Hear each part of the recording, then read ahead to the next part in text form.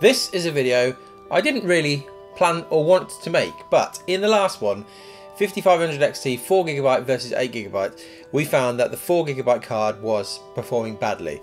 And then after the video was published, I looked in the comments and some people had very obviously and helpfully reminded me that these cards only have 8 PCIe lanes. Now, the motherboard that I was using, it's a B450 motherboard so that I can test all of the Ryzen CPUs basically on it. That is only a PCIe 3 motherboard. So the answer was clear. It's the fact that you're not running PCIe 4. So the bandwidth basically for the memory was too low and therefore that's why the 4GB card was so bad. But I then went and did some testing and saw that that's not the complete picture. So here are the results of some more testing I did with these cards. So in order to get the clear picture for this, I've taken everything across to my Alder Lake CPU. So it's got the 12700KF, same RAM, same graphics card. And actually, even though the Alder Lake CPUs aren't quite as fast as the 5800X3D, uh, it doesn't really matter in this test because we are GPU limited throughout. So it's not making any, if a tiny bit of difference. I don't think it's making any difference really. So you'll see here the results from last the last video. So on the Ryzen system with Gen 3, these are the results that we got. Now, I've gone in with the 4GB card on the Alder system and I've got these results. You'll see here a Gen 3 test and a Gen 4 test and you'll see basically similar results for the Gen 3. Uh, the bandwidth it just isn't fast enough for the Gen 3. 8 PCIe lanes at Gen 3 doesn't seem to cut it. But then interestingly, that result there even for the Gen 4 isn't still quite as good as the 8GB card was on the Ryzen system. So I then popped in the 8GB card just to get you the full picture and here is the final analysis of everything.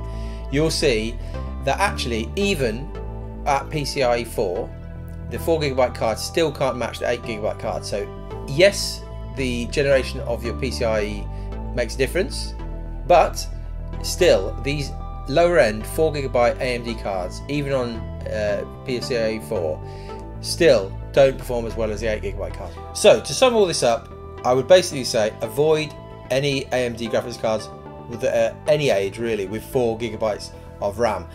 They just don't perform well whether at PCIe 3 or PCIe 4. The lanes, the amount of lanes doesn't help definitely when you're running at uh, Gen 3 but ultimately they're not performing as well as the 8 gigabyte variant anyway. So you've also got some new cards from in the 6000 series that are also uh, limited by lane, but probably the RAM is the bigger thing. So if you've got a uh, one of the cards that's got 8 gigs of RAM, I don't think this will be an issue. So I think the 6600 is a PCIe 4 8 lane card, but because it's got 8 gigs of RAM from this testing, probably that wouldn't be an issue that's quite an expensive car, so I don't know if we'll get to that anytime soon. But if that can drop in price, we'll, we'll manage to test that. But next time will be the Nvidia 1660 series.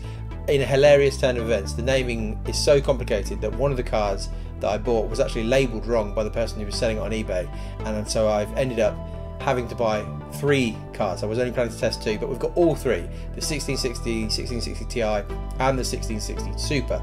So that will be interesting to see if they are a bit more of a viable minimum spec GPU because remember that's what we're doing here. We're looking for a replacement for the 1060. So see you soon. Thank you. Bye.